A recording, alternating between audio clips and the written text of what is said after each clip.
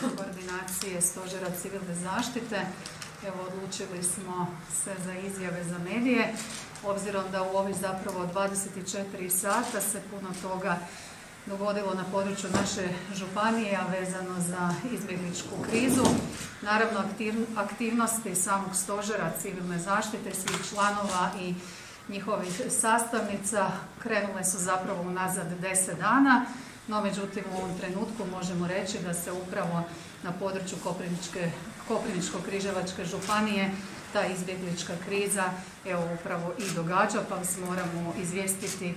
o onome što je odrađeno i naravno najaviti ono što je pred nama. Naime, evo zadnjih 24 sata se puno toga dogodilo na području naše Koprivničko-križevačke županije. Do jučer smo imali na području županije 21 osobu izbjeglu iz Ukrajine koje su bile većinom smještene u privatnim smještajima kod prijatelja, rođaka ili u nekim već unaprijed dogovorenim smještajima. Tokom jutra i tokom današnjeg prijepodneva u hotel Picok koji je od jutra smo mobilizirani je stiglo 73 izbjeglice iz Ukrajine, većinom majke sa djecom koje su smještene na prostorima u, hotelu Picok. E, ujutro smo ih čekali predstavnici civilne zaštite, policijske uprave, Zavoda za javno zdravstvo, e, Zavoda Doma zdravlja i predstavnici Crvenog križa grada Đurđevca i ljudi su prihvaćeni. Ono što je protokol nalaže, napravljena prvo medicinska trijaža, morali smo ih testirati, isto tako one sa zdravstvenim poteškoćama detektirati da im se pruži adekvatna medicinska skrb. Evo, tri osobe su došle pozitivne, za njih je odmah učinjena izolacija, ostali su još sada u fazi e, pregleda, a jedno dijete imalo medicinski smetnji i zajedno s majkom Zavod za hitno ga odvezo na odjel pedijatrije u Koprivnicu, pružena mu je pomoć i vraćanje natrag u Đurđevac, tako da su svi tri osobe, osim što su strašno iscrpljeni, strašno umorni i e, s njima je samo napravljen onaj osnovni dio, dato im je vremena da se odmore, da se smjeste u sobe, da se operu, da malo dođu k sebi, a tokom popodneva će dalje znači, naše e, službe s njima napraviti onaj ostali dio ankete koje moraju napraviti, tako da imamo kompletnu evidenciju njih svih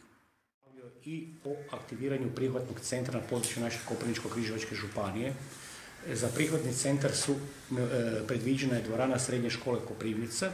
a isto tako kao rezervna varijanta dvorana osnovne škole u Goli. E, prvo će se aktivirati, ako će biti potrebe, naime nacionalni stožer mora mobilizirati prema procjeni dolaska migranata, aktivirati dvorana srednje škole Koprivnica, predviđen kapacitet je 80 ležaja,